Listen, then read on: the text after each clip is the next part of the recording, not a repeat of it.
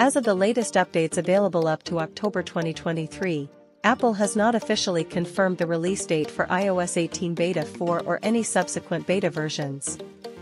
The beta cycle for iOS typically involves several stages, including developer beta releases and public beta releases, each designed to refine the operating system before its final release.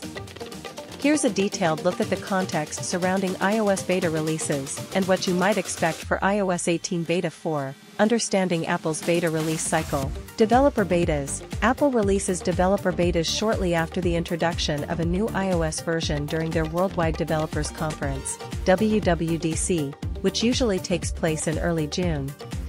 These betas are primarily aimed at developers who need to test their applications with the upcoming OS changes. Public betas Following the developer betas, Apple often releases public betas. These are accessible to a broader audience who are interested in testing the new features and providing feedback. Public betas typically follow developer betas by a week or two. Beta updates Within each beta cycle, Apple frequently releases multiple updates to address bugs, performance issues, and feedback received from testers. These updates are usually numbered sequentially, e.g. Beta 1, Beta 2, Beta 3, etc. iOS 18 Beta 4 Release Patterns Based on historical patterns, iOS betas are generally released at consistent intervals. For instance, Developer Beta 1, released shortly after WWDC. Beta 2, typically released 2 to 3 weeks after Beta 1. Beta 3, released another 2 to 3 weeks after Beta 2. Beta 4 usually comes about 2 to 3 weeks after Beta 3. If Apple follows the same schedule as previous years, iOS 18 Beta 4 might be expected around late August or early September. Features and improvements in iOS 18 Although specific features for iOS 18 were not officially detailed by Apple prior to my last update, beta releases usually include significant updates and improvements over previous versions. Common areas of focus might include user interface enhancements. Apple often refines the user interface to improve usability and aesthetics.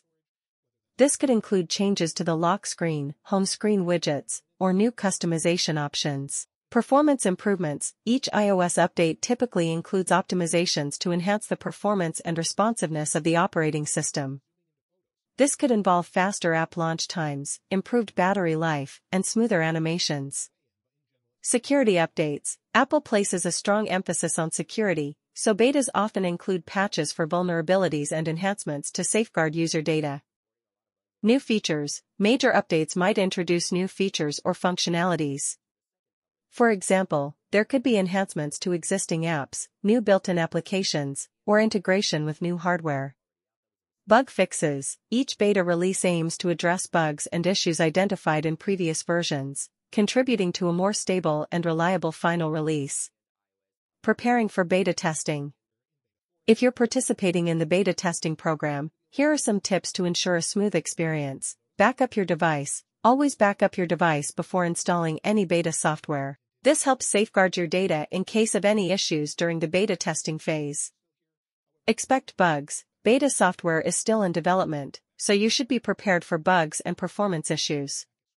Providing feedback to Apple can help improve the final release.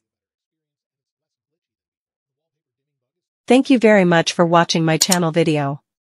At the end of this video, we are talking about something that can change your life so watch the video till the end and if you love your mother so much then subscribe this channel now to love your mother. So you can subscribe.